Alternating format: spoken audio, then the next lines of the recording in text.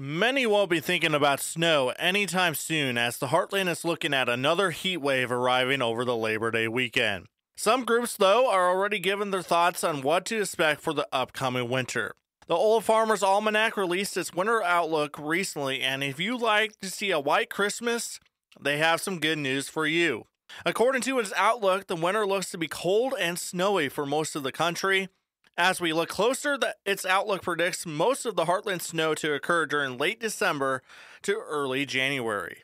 Historically speaking, there is between a 26 to 40% chance for a white Christmas each year in our viewing area. Temperatures are expected to stay colder than normal for most of the season, also.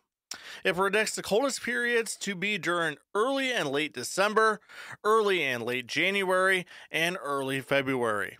Just a reminder before winter starts on December 21st, the fall season kicks off on September 23rd this year. I'm meteorologist Matt Gunn reporting.